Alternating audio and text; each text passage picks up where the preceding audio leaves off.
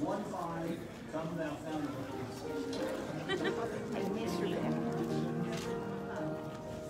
Come thou founder.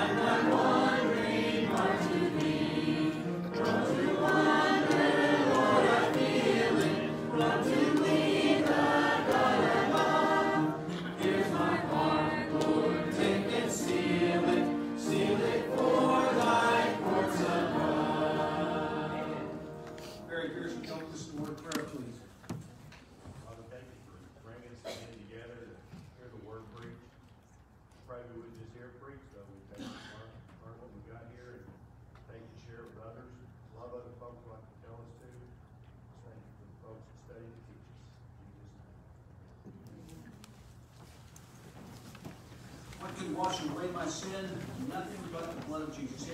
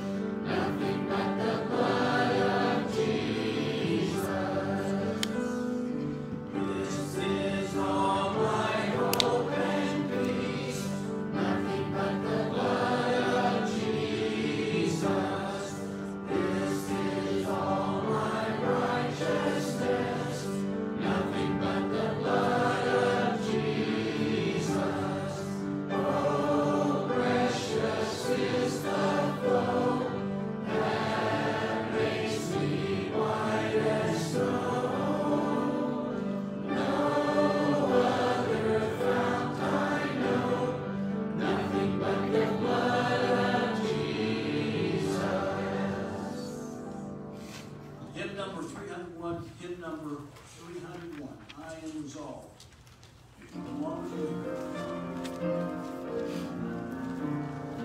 I am resolved.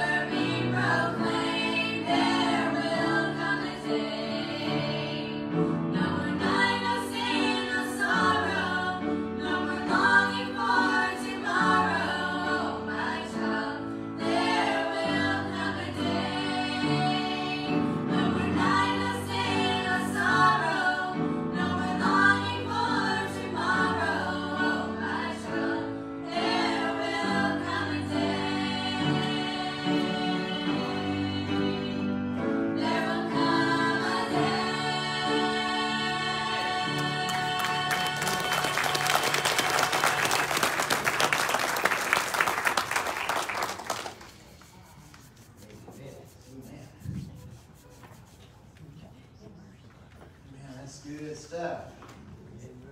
I can hear that probably every service and be just yeah. fine, Amen.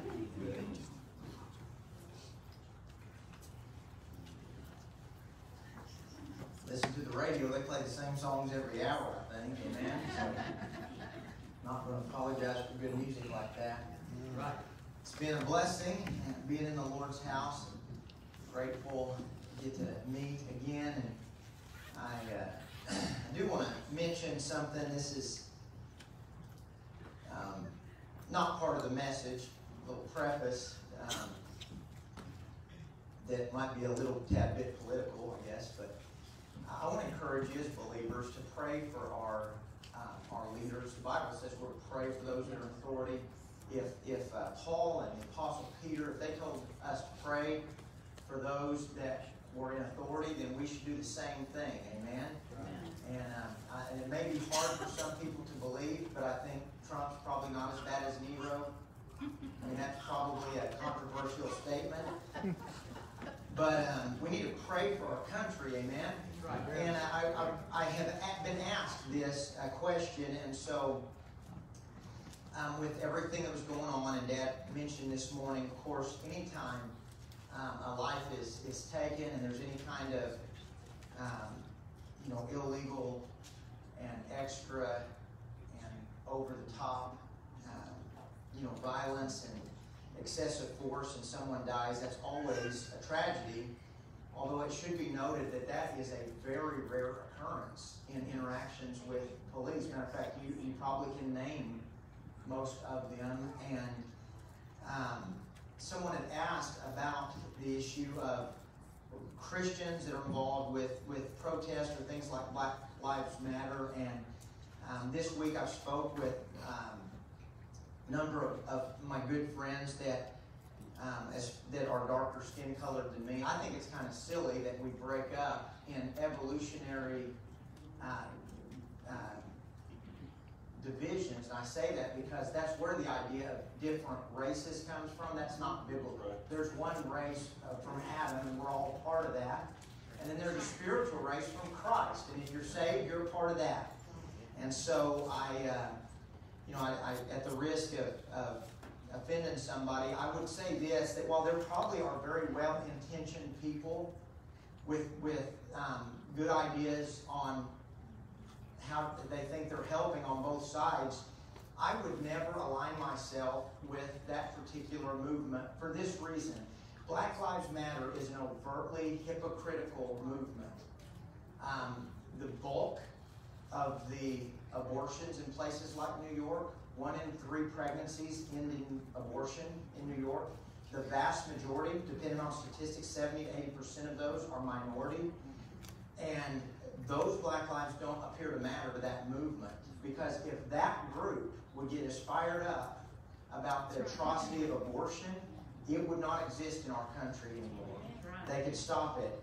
And the other issue is there's there's two by the way, I'm not for that group, but I'm also against white supremacy. The two most influential white supremacists in recent history are named Charles Darwin and Margaret Sanger. Charles, Darwin is why we teach our kids evolution, that we are animals and that we are um, different races. Charles Darwin taught that people with darker skin, darker melanin in their skin, were closer to the apes, that we didn't share a common um, evolutionary ancestor in that white people had evolved so much further back, we are higher evolved. It's interesting that a white bald dude would come to the conclusion that white bald people are the highest evolved critters.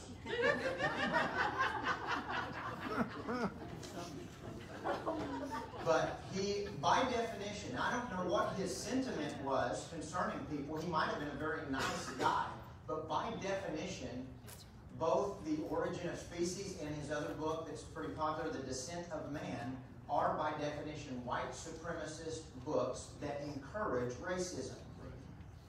If the Black Lives Matters people would get worked up about him, I think they could probably change our education system. But if you teach people that we're animals, I think sooner or later they start acting like that. Yeah. And the other white supremacist is Margaret Sanger. She's the founder of Planned Parenthood.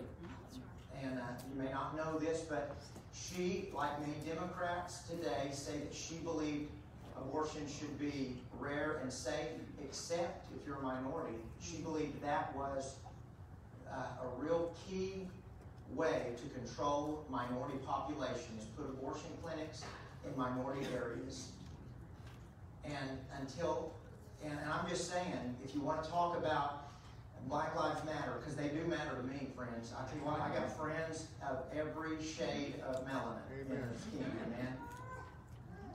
I think Nana's grandpa was Kizzy Estes, is that right?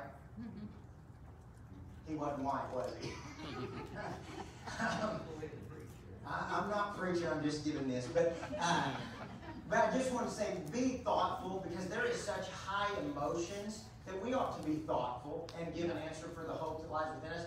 But my hope is not that I'm going to skate by on white privilege, and my hope is also not in my Creek Indian card. Praise God, I got that. Amen.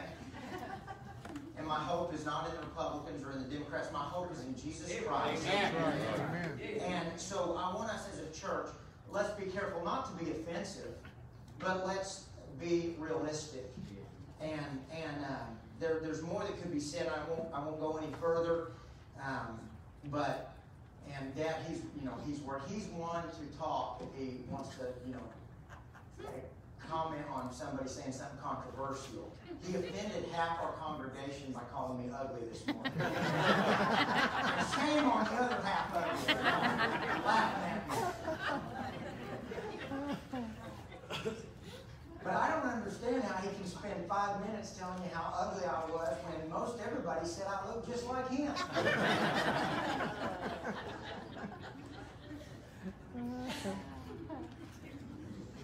but on a serious note, I want to, I, I do appreciate my mom and dad practicing practicing what they preach. They, they love the Lord and they raised Casey and I with a priority on us knowing Jesus and us being exposed to the gospel and uh, I'm so grateful for that. Um, and, and I'm grateful that we have men in this church that are the kind of role models that I can look up to still yet uh, as I raise my children. And I can point my young men, got three young men in my house. I want to be able to point them to godly examples in my church. And I'm grateful for all of you. So with that all said, and that was like I said, that was all extra, not part of the message, amen you got your Bibles, turn to Exodus chapter 12. Now, I got to tell you that I had planned, I was all fired up. I was going to preach on not just the Passover, but the Feast of Unleavened Bread and this. Um, I was going to, and I am going to preach on uh, the lamb and, and the leaven and the being prepared to up and leave. But I'm not going to preach that yet, amen? But we're going to look at another uh, detail concerning the last, the tenth plague that you may have missed, and to me it was very significant. And so if you've got your Bibles, Exodus chapter 12, stand with me, and we will look again how we got here. We're looking at Old Testament figures and really Bible stories, um, men that we hear about, maybe in passing, Abraham, Isaac, Jacob. Now we've been on Moses for a little while, and I won't move off of him yet. But really, every time we look at a man of God, the scripture is not emphasizing the man of God. Really, it's trying to point us to the God of the man that we're reading about because the Bible does not hide the fact that these men were imperfect vessels. Amen? But we have a perfect God that uses imperfect people. And we're going to look now as God, through Moses and Aaron, pronounces and then delivers this final and last plague, the plague of the death of the firstborn. And so, if you're there in Exodus 12, verse uh, 1, it says, And the Lord spake unto Moses and Aaron in the land of Egypt, saying, This month shall be unto you the beginning of months. It shall be the first month of the year to you. Speak ye unto all the congregation of Israel, saying, in the tenth day of this month they shall take to them every man a lamb, according to the house of their fathers, a lamb for an house. And if the household be too little for the lamb, let him and his neighbor next unto his house take it according to the number of the souls. Every man according to his eating shall make your count for the lamb. Your lamb shall be without blemish a male of the first year. You shall take it out from the sheep or from the goats, and you shall keep it until the fourteenth day of the same month. And the whole assembly of the congregation of Israel shall kill it in the evening. And they shall take of the blood and strike it on the two side posts and on the upper doorpost of the houses wherein they shall eat it. And they shall eat the flesh in that night, roast with fire and unleavened bread, and with bitter herbs shall they eat it. Eat not of it raw, nor sodden at all with water, but roast with fire his head and his legs, and with the purtenance thereof. And ye shall let nothing of it remain until the morning. And that which remaineth of it until the morning ye shall burn with fire. And thus shall ye eat it with your loins girded, your shoes on your feet, and your staff in your hand, and ye shall eat it in haste. For it is the Lord's Passover, for I will pass through the land of Egypt this night, and will smite all the firstborn in the land of Egypt, both man and beast, and against all the gods of Egypt I will execute judgment. I am the Lord. And the blood shall be to you for a token upon the houses where you are.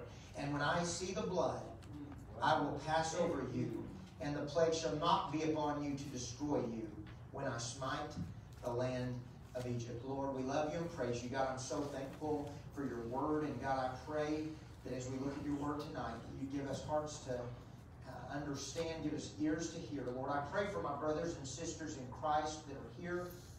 God, I pray that that they uh, would be encouraged tonight, edified. Lord, I pray that we would be better equipped for the work that you've given us to do. And Lord, I pray that our loins be girded. We keep our, our shoes on our feet and us be ready to go. Lord, I pray that you would help us uh, be set apart and sanctified, those of us that are saved for your service, for your purposes. And Lord, I pray if someone here tonight's never trusted you, never been born again, that they would be saved tonight is my prayer. And above all, we ask to be exalted, lifted up, and glorified. We ask this in Jesus' name. Amen. You can be seated. So tonight we, we want to look at the last plague. Uh, the last plague. It was the death. It was the death and the judgment that was pronounced at the very beginning of God's mission to Moses all the way in chapter 4, before any plague had arrived yet, before the river had been turned blood, before the frogs, before the flies, the lice, the bullets, before any of those things, God gave this stern warning. In Exodus 4 22, he says, And thou shalt say unto Pharaoh, Thus saith the Lord, Israel is my son, even my firstborn, and I say unto thee, Let my son go, that he may serve me. And if thou refuse to let him go, behold, I will slay thy son, even thy firstborn. In a sense, the nine plagues that preceded this were all actions of God's grace. In this sense, God said, If I say let him go and you don't let him go, I'll kill your firstborn. And listen, God is a righteous judge. God is uh, a righteous God, and He is above evil. And so when we read about God's judgments, whether it be on behalf of Israel or later on when God judges Israel, God's judgments are good, they're true, they're right. And they're righteous altogether, the Bible says. So we don't have to worry about the when when you read this tragedy, it is a tragedy. But it is God's punishment on a stiff necked nation that had for 400 years oppressed Israel. And he gave them this pronouncement that if they refused to let Israel go, then he would smite, he would kill the firstborn. And now, after nine plagues, after they had seen the mighty hand of God, they had seen Moses intercede for them to God, and he, they had seen uh, chance after chance where Moses would say, Let him go, and the plague will relent. And they said, Okay, pray that the plague goes away. And he did, and then they would change their mind. Pharaoh would not let the people go. And now, this, after the darkness, the plague of darkness, Pharaoh tells Moses, I don't ever want to see you again. And it appears that even there, as he was leaving the last time, this warning came to Moses that there in chapter 11, if you'll drop back, he said, uh, the firstborn, verse 5, in the land of Egypt shall die, from the firstborn of Pharaoh that sitteth upon his throne, and to the firstborn of the maidservant that is behind the mill, and all the firstborn of beasts. And there shall be a great cry throughout all the land of Egypt, such as there was none like it, nor shall be like it anymore. God said there's going to be a really bad thing happen, this plague. Now, as I go tonight, I'd like to make application as we go, because really these are written for our example and for our admonition. So, when we read about God judging Egypt, and Egypt, many times we, we say it's kind of a picture of the world. And God used his people really to warn Egypt that these plagues would come. It's interesting that some of Pharaoh's house, they listened to Moses and they uh, took precautions against coming plagues better than the other Egyptians did because they believed Moses. They knew that he was a messenger of God. And now this last plague, death, has been laid at the door. God has said it's coming. I, I want to make application tonight because you know, as Christians, it should not take COVID or some pandemic, epidemic for us to live in the light of a fragile life. The Bible says we ought to know as believers, we ought to number our days, David said. Teach us to number our days that we may apply our hearts unto wisdom. James said, life, what is it? It is a vapor. Well, it's true, over 100,000 people have died from COVID. Do you realize that this year about 3 million Americans will die from something anyways? Most people don't know that. That's shocking, isn't it? Just in our country.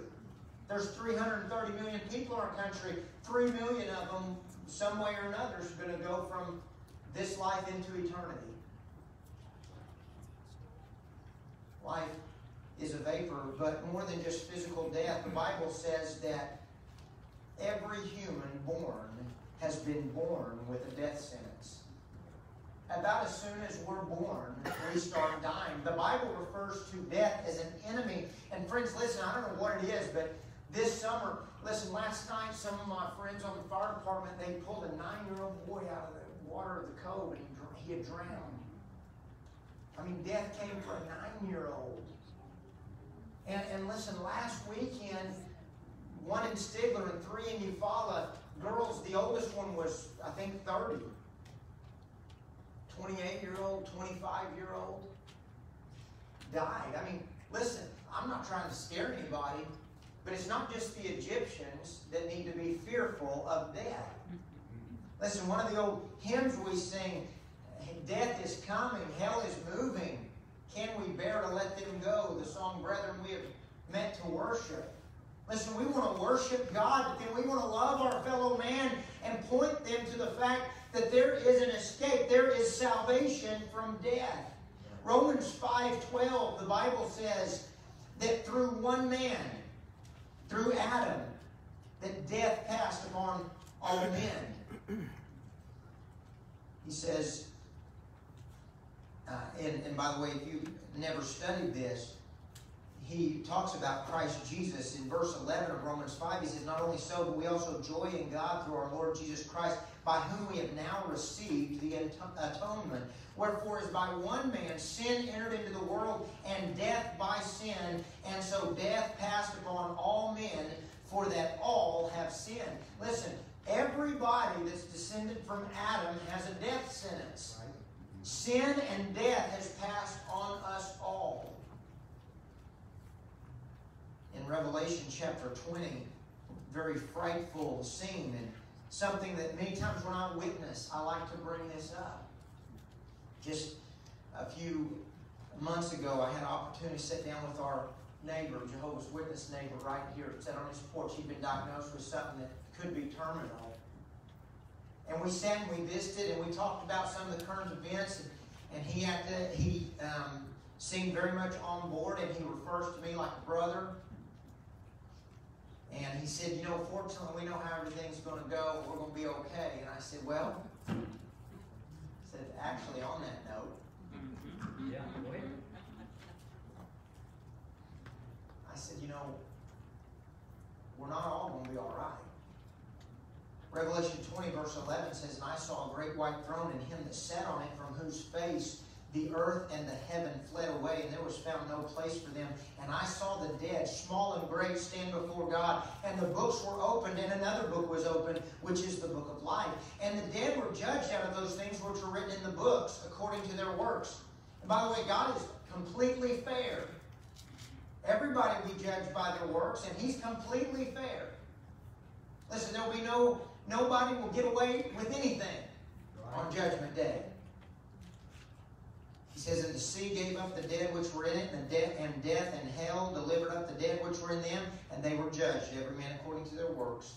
And death and hell were cast into the lake of fire. This is the second death, and whosoever was not found written in the book of life was cast into the lake of fire. It's a scary passage. Second death. This morning at Lake, Justin closed his message and he said that everybody's born once and everybody will die once. He said, but you don't have to die twice. Hey. If you've been born twice, you only have to die once. Listen, the second death, that's when you stand before God having rejected Jesus Christ and death is coming. Listen, this is important. Just as that night Moses said to Egypt and to the Israelites there in Egypt that, hey, death is coming. It's time we do something about it.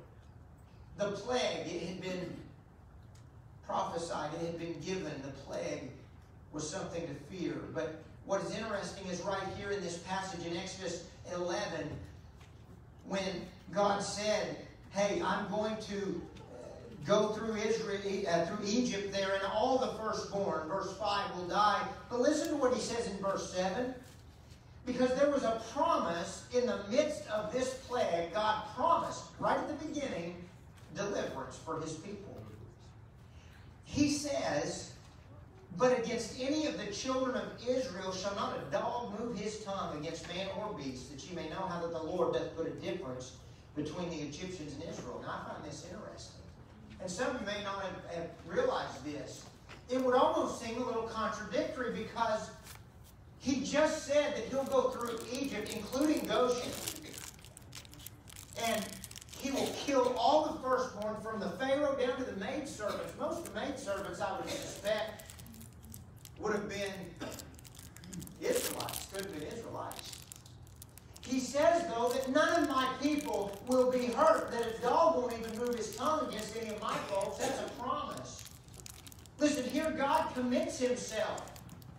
And I believe in this Old Testament plague, you see this balance, this New Testament gospel balance of God's sovereignty right here laid beside man's responsibility. A lot of people debate these things, but God made a commitment to take care of his people, but then God had a condition there. Mm-hmm. In chapter 12, verse 12, he says, For I will pass through the land of Egypt this night and will smite all the firstborn in the land of Egypt, both man and beast, and against all the gods of Egypt I will execute judgment. I am the Lord. And the blood shall be to you for a token upon the houses where ye are. And I read this there at the beginning. And when I see the blood, I will pass over you. Amen. That's right. And the plague shall not be upon you to destroy you when I smite the land of Egypt.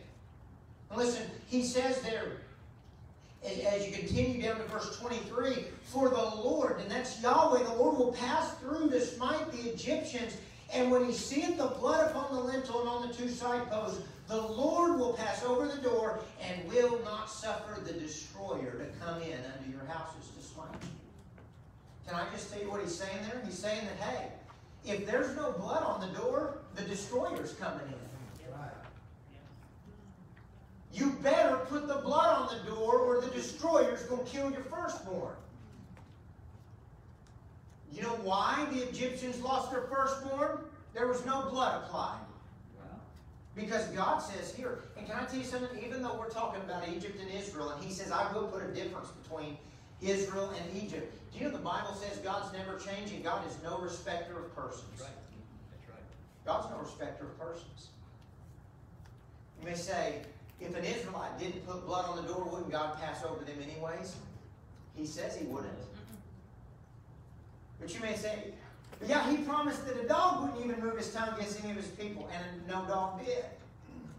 How many Israelites did the destroyer kill? You know? Well, any of them that didn't have blood on the door, but you know how many that was? None. Listen, as I was reading this, because the wail and the cry that was going through Egypt, listen, regardless of how much money you had, regardless of where you lived, listen, even said in the dungeon, you could be incarcerated in Egypt. If you were firstborn, there was no blood applied, you died. How many of Israel applied the blood? Well, in Exodus 12 21, it says, Then Moses called for all the elders of Israel and said to them, Draw out and take your lamb according to your families and kill the Passover. So he gives this command to all so that all Israel would know. He tells them how to apply the blood. You take the blood and you put it over the door and on the doorpost there. He says, The Lord will pass over the door and will not let the, the uh, destroyer come in. And you know what it says in verse 28? And the children of Israel went away and did as the Lord had commanded Moses and Aaron, so did they. I, I personally believe that when the Bible says all the congregation killed the lamb, that they did. I think they all took their lamb and they put the blood on the door because by this time, listen, having, having lived in the daylight when Egypt was dark, that's what just happened. Having, listen, having seen the hail fall and kill the crops in Egypt, but not in Goshen. Having seen God protect them and judge Egypt, I don't think anybody had to be convinced that this was serious. They needed to put the blood on the door, so they did. And I, I said to me, this is a neat balance because, you know, sometimes I think there's almost vain arguments. People say, well, you know, it, it, if God's committed, listen, if, if, if you're elected, it doesn't matter what you do. Well, you know what? If you're elect, you're going to trust Christ Jesus as your Lord and Savior. Nobody that rejects Jesus Christ is going to heaven.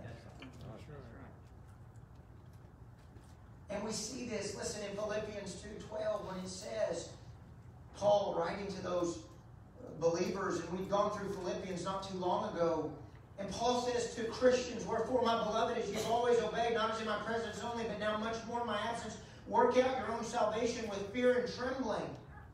Then verse 13, For it is God which worketh in you both to will and to do of his good pleasure. Listen, the desire and ability to obey God is evidence of God's grace working in your life.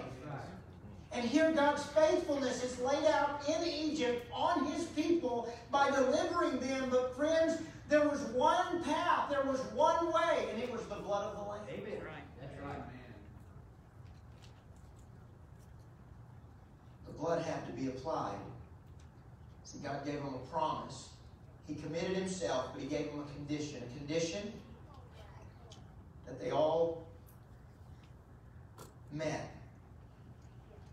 It was not their merit. Wasn't how good they were. Think about this. Do you know that whether you were the best Levite, you know, slave in Egypt, I mean, you, you could have been Moses' mama. God showed no favoritism. He did, the Bible says, he didn't say, when I look in there and see how good you folks are. No, he said, when I see the blood, I will pass over you. Isn't that a beautiful picture of the gospel? Can I tell you something? There was probably some pretty sorry Israelites. There were before. I mean, can you imagine the gall of two Israelites who fighting and Moses tries to come and help them out and they say, you going to kill us like you killed. I mean, they rejected Moses. The Israelites, listen, as they marched through the wilderness on the way to the promised land, they're complaining all the time. What I'm saying is, they weren't great. They weren't saved because they were of moral superior character than all of the Egyptians. No, the death angel passed by because he saw the blood. So far from having any arrogance or pride, I think it would have been a very humbling night. And listen, that death angel didn't take. I don't really understand this. He didn't take all these firstborn. And it says there was no house. Because if you think about it, if you have any children, you got firstborn. Right? If you have one child, you've got firstborn. And the majority Egyptians, if they had moved into a culture as most populations do, you know, there's a very similar cycle that populations go through. Their morals go south, family breaks down, sexual promiscuity, version prevails, family breaks down, and I mean, America is there. America averages, I think, it's less than two child two child per household. So that means either father or mother or that 1.7 child, they're going to have a firstborn. That's how Egypt was. said not there was no house in Egypt where there wasn't crying. And it, and it says that they were wailing and crying in the middle of the night.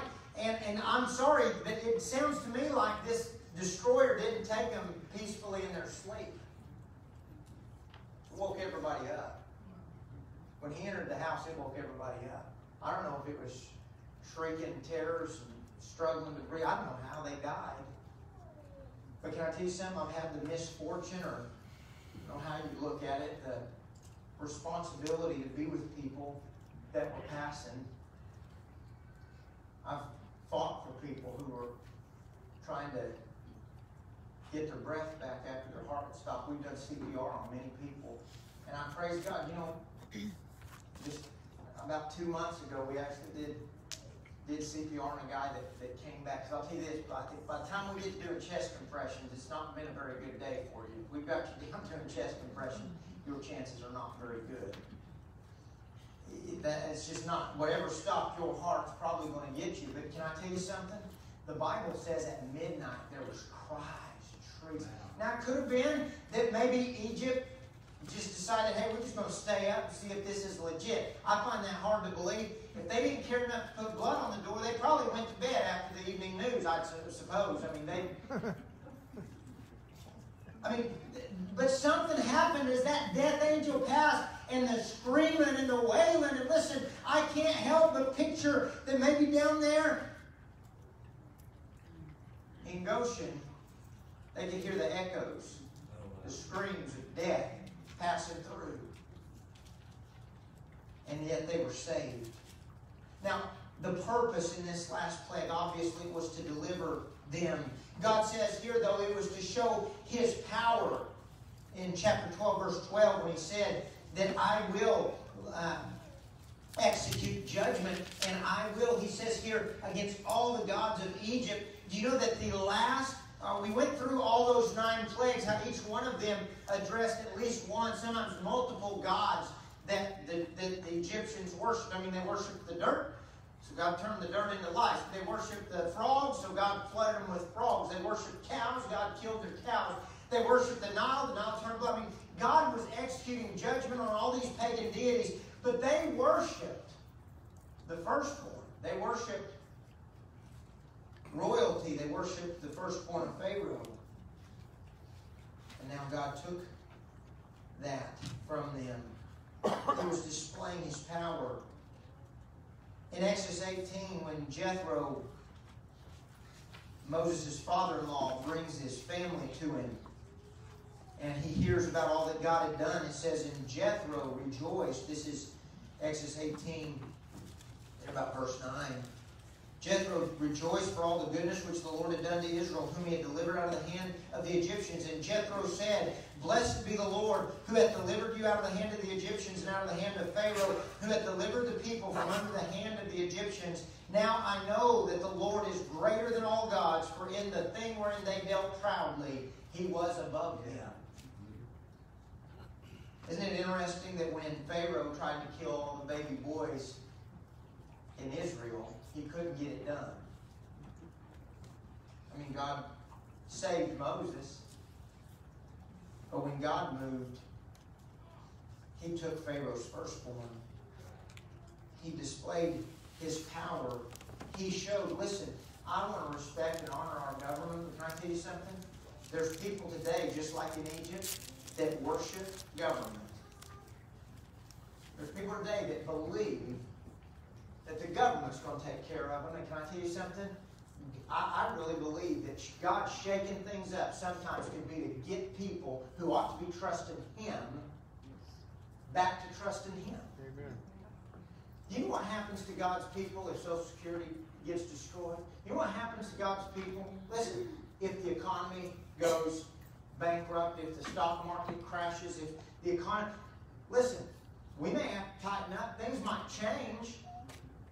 But my Bible says, Seek ye first the kingdom of God and his righteousness, and all these things will be added to you. My Bible says, I've been young and now I'm old, and I've never seen the righteous forsaken, nor his seed begging bread. And there's people, listen, I think it's time that those, those people that take so much pride in something other than God, there's time when God's going to elevate himself above their idols. That's right. Mm-hmm. And he did that. Listen, he lifted himself up in the thing which they dealt proudly in. God took that away. Second Chronicles 16 9 says, The eyes of the Lord run to and fro throughout the whole earth, seeking to show himself strong on behalf of those whose heart is perfect towards him. He says that he sent this last plague in chapter 11, verse 7. He says, that ye may know how the Lord doth put a difference between the Egyptians and Israel. Do you know God wants to differentiate between us and the world? He wants there to be a difference. Do you know that God's people should not be scared? God has not given us a spirit of fear, but of love and power and a sound mind. We shouldn't be careless. We should love our neighbor. We should take care of anything we should we need to take care of, but we shouldn't be fearful. I'm not fearful. Do you know my God's bigger than a virus? That's right. Amen. Yes. My God's bigger than the flu. My God's bigger than germs. My God is bigger than the Wuhan Chinese flu. Amen. COVID, whatever it is. God's big. We, as believers, should not be touched by that which is killing the world. Being killed by fear, hatred, division. You know, we ought to be above that. We, we've got a God, listen, who loved us and has given us His love. And the fruit of His Spirit is love, joy, and peace. We ought to be different than the lost world. You know the other purpose in this night, the night of the Passover?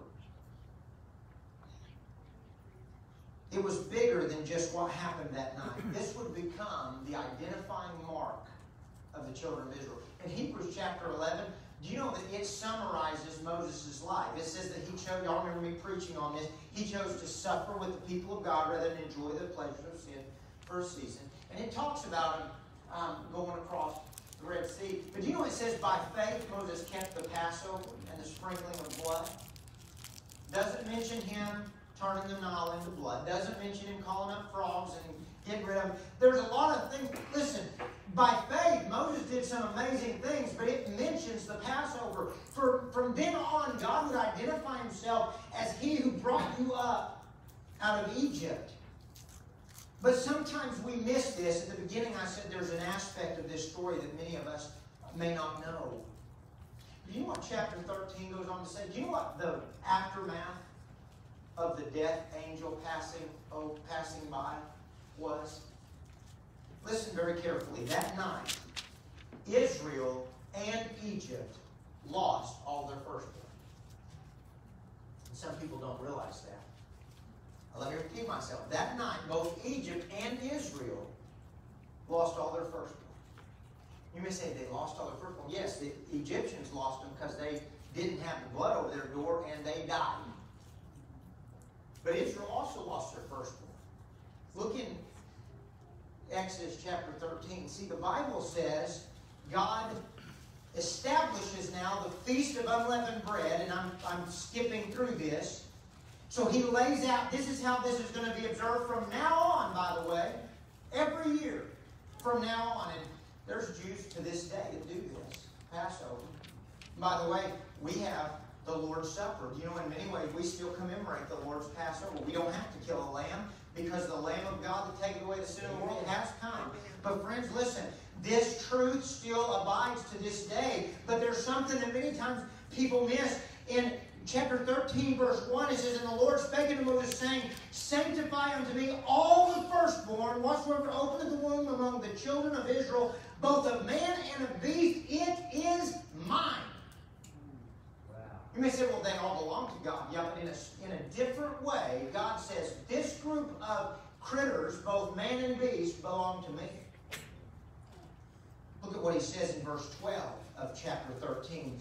That thou shalt set apart unto the Lord all that openeth the matrix, and every firstling that cometh of a beast which thou hast, the males shall be the Lord's. Every firstling of an ass thou shalt redeem with a lamb, and if thou wilt not redeem it, then thou shalt break his neck. And all the firstborn of man among the children shalt thou redeem. And it shall be when thy son asketh thee in time to come, saying, What is this? That thou shalt say unto him, By strength of hand the Lord brought us out from Egypt, from the house of bondage. And it came to pass when Pharaoh would hardly let us go, that the Lord slew all the firstborn in the land of Egypt, both the firstborn of man and the firstborn of the beast. Therefore I sacrifice to the Lord all that open the matrix, being males, but all the firstborn of my children I redeem.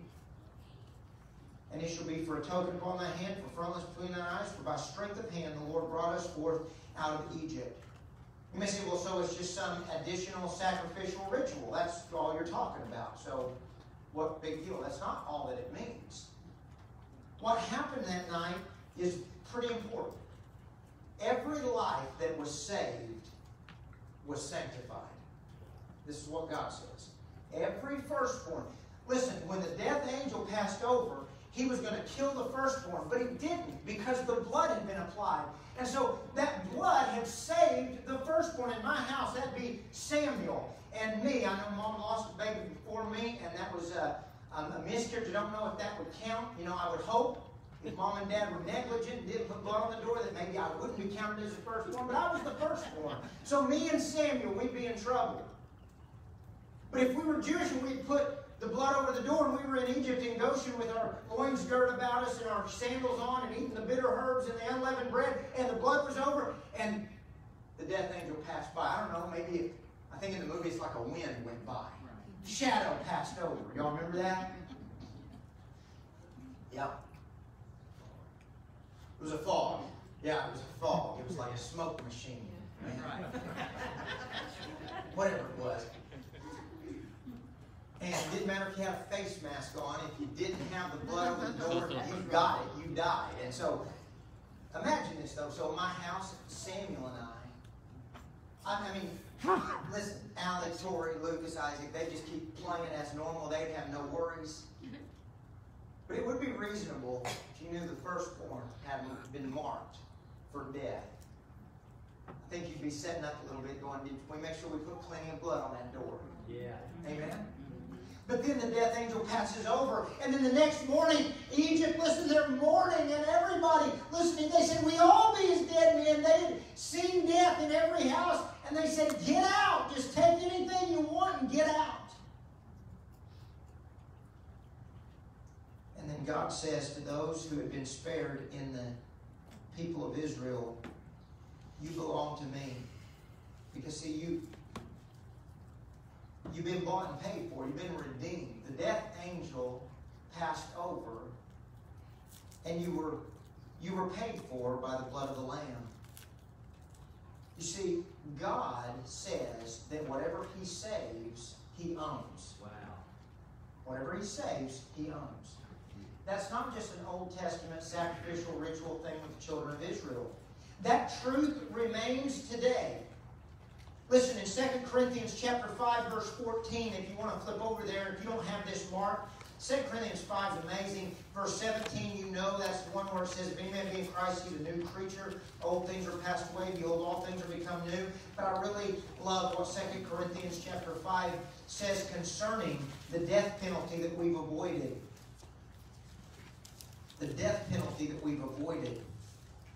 Because he says here, the love of Christ, verse 14 of chapter 5, 2 Corinthians, the love of Christ constraineth us, because we thus judge that if one died for all, then we're all dead. And that he died for all, that they which live should not henceforth live unto themselves, but unto him which died for them and rose again. He's saying? He's saying, since Jesus died for you, and by the way, God doesn't want us committing, you know, Harry Carey kamikaze suicide in the name of Christ. Right? There is, there's no such thing as a Christian suicide bomber. No such thing. You'll have to go to a false God to get that kind of devotion in religious service. God, the one true God, doesn't ask that. But He does ask for your life. He says in Romans 12, 1 and 2, I beseech you therefore, brethren, by the mercy of God, that you present your body a living sacrifice, holy and acceptable unto God, which is your reasonable service. Why? Because you've been bought with a price. 1 Corinthians chapter 6. The Bible says in verse 19, What know ye not that your body is the temple of the Holy Ghost which is in you, which you have of God, and ye are not your own? For ye are bought with a price. Therefore glorify God in your body and in your spirit, which are God's.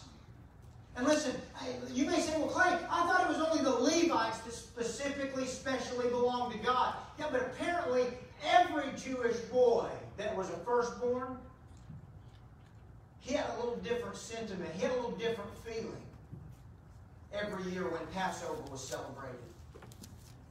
Because he would stand there and go, I wouldn't be here if it wasn't for the blood of the Lamb. Wow. I wouldn't be here. I wouldn't be with my family. And on account of that, listen, I should especially live a sanctified life. Because he saved me. He set, he set me apart. Listen, it, it bothers me. There's people that almost teach this, and I, listen, I believe it is a dangerous doctrine, and I'll teach more, I'll preach more about this next week. But this idea that you can have a big category of church folks that are saved but unsanctified. Well, they're saved. They said a prayer, put their name on a card, and we dunked them. Listen, it scares me.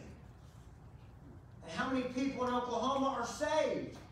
I mean, you go to jail, you go to the prison, everybody in there saved. I mean, I'm, I'm exaggerating a little bit, but not much. I'm telling you, don't let me ask permission. Go to the county jail, just do a straw poll. How many of you fellas in here are saved? Big chunk of them already saved. Makes you want to say, saved from what? Mm-hmm. What are you saved from? Can I tell you something? We've been telling people you can say a little prayer and be saved from hell. That's not what Jesus came to save people from. Right. No, listen, the angel Gabriel told both Mary and Joseph, you'll call his name Jesus, he'll save his people from their sin. That's right. Listen, that, that means that we shouldn't continue in sin.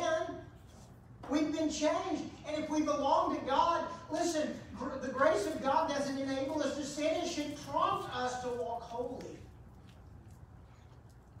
We've been dumbed down. We've been dumbed down to the point that, listen, we have more loyalty to hobbies and jobs. Listen, and even family. I love family. But we have more loyalty to temporal and unfortunately sometimes even carnal commitments than we do to the Lord God who saved us. Wow.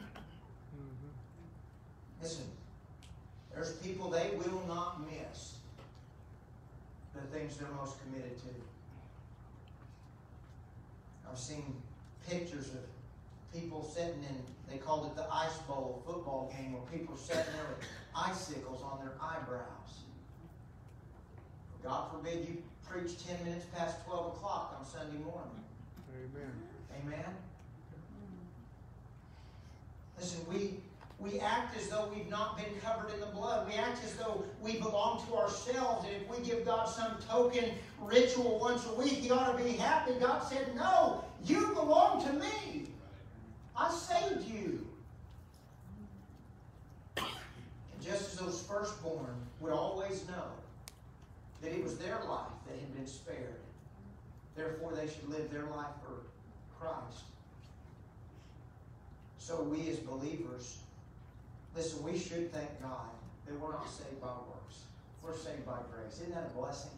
Because I'll tell you what, I couldn't work hard enough to, to get it, and I can't work hard enough to keep it. Amen? Right. I, I mean, that's not, not the way it works. I'm saved by the blood of the Lamb, but God forbid if I'm saved by the blood and I'm saved by grace, if, if I don't live for the one who saved me. Listen, I, I should be loyal to him who died for me. I, I think it's sad that sometimes discipleship seems more like pastors twisting your arm to keep you from doing the wrong thing. I, listen, sometimes it, it kind of shocks me. I've seen professing Christians.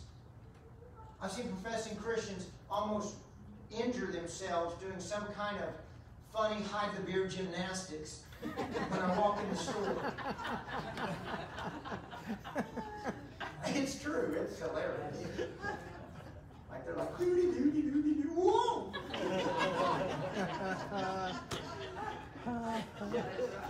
I'm telling you. Uh, hey, listen. Last fall, I was I, I was at Gary's, walking up to Gary's, and guy that I had seen, I witnessed to him years back, but he didn't even go to church here. But he's standing out there smoking. As soon as he sees me, he does this. He tucks it into his hand. He stands there. Hey, brother, how you doing? It's like, doing fine. I said, that's the funniest way I've ever seen anybody smoke a cigarette. and he goes, well, you saw me. And I said, yeah, why are you hiding from me? Yeah. I'm not going to give you lung cancer. I'm not your judge. Yeah. Why are you hiding from me? But it sometimes amazes me. It, it amazes me that people have uh, more of a sense of conscience about impressing a preacher than the very God who died to save them. And by the way, God's not cool with all that, but I mean, I don't really know why you hide stuff from a preacher. God, a holy God, Yes. sees you all the time. And he says, You listen, you belong to me. You should glorify God in your body and in your spirit because they belong to me. Do you know, if you get that right, young people, and you be able to say amen, you won't have to worry when the preacher preaches about relationships or cell phones or pornography or whatever. Listen, you'll say thanks for the encouragement, praise God, because you'll be right on board. You have a clear conscience. You've been bought with the blood of the Lamb. You don't belong to the world. You don't belong to the world. We're to come out from among them and be separate. And if you're here and you're saved, I want to challenge you. God saved you for a reason. He said He did not save you. Think about this. He didn't save you just to die. I mean, He saved you to live. Because I thought it was funny. The one example he used is like every firstborn critter that should be sacrificed. Now, donkey, beast of burden, you know, you want to use them, so you can you can use a lamb in place of if you had a good donkey. But if he didn't look like a good donkey, just break his neck. Like, don't go to the temp, temple, sacrifice him. But God's like, I'm here. I don't want you hurting your kids. Kill the donkey, though. Amen? Because God's a quarter horse man. He's in the Bible. Coming back on a white horse. Amen? But isn't that interesting? Even the critters, God said, they belong to me. Because I saved them. I, listen, if you're here and you're saved, everything you have belongs to the Lord. Right. So, so don't cling to stuff. It's kind of like, like my kids. When my kids get really stingy with me, with stuff that I bought, that don't turn out well. If I get you something because I love you, and then you take what I got you, listen, I got them out of the kindness of my heart and a slaps in my mental capacity. I bought them Ner- Nerf guns. and then they shoot me in the eyeball with it, and it hurts. and then they stomp screaming, don't shoot my bullets. I'm like, okay, I'll just take them all away then. I use that as an illustration. You know, sometimes I worry, there's blessings that God gives us sometimes. Don't take what God's given you and shoot him in the eye with it. Amen. He can take it away. Lord giveth, the Lord taketh away. And he said, Hey, I bought you. You were saved by the blood. Now you need to live like it. You need to live different. If you're here tonight and you're not saved, you need to get saved. I'm going to ask Megan to come to the piano. Listen, it, it's exciting. I'm so excited about this feast of Passover, so it makes me wish I was Jewish, amen. Even if I was Jewish, I wouldn't be killing no lambs. Don't worry about that. You that's not what God requires. But, it- but listen, you've missed out. You don't know about this. There's some very specific things God told His people to do. And you know, the Bible says there are current New Testament implications to this Passover that we're reading. And it's good stuff. But can I tell you tonight, when John the Baptist saw Jesus coming, he said, Behold the Lamb of God that takes away the sin of the world. Yes. I'm part of that world that he was talking about. See, when I stand before God, he's not going to see my sins. He's going to see the blood of the Lamb. Amen. And so I don't have to worry about that second death. Matter of fact, that second book he talked about, he said there were going to be books, but then another book, that book is the Lamb's book of life. Isn't that cool? And if your name's there, it's because you applied the blood. How do you apply the blood? The Bible says this is how you're saved. If you'll confess with your mouth the Lord Jesus and believe in your heart that God raised him from the dead, you can be saved. You shall be saved, the Bible says. You get real with God. Listen, the Lord Jesus Christ died and shed his blood. And it can be applied to you by simply calling on his name. Because it's already been shed, it's already been applied. And he's the door. You enter in through him and find safety. You've never done that tonight, we'll give you an opportunity to do that. The invitation never closes here at Lindsey Chapel. But we have a time, and I'd like you to stand with me with your heads bowed and your eyes closed. We have time right now. If God has spoken to you, would you do something about it?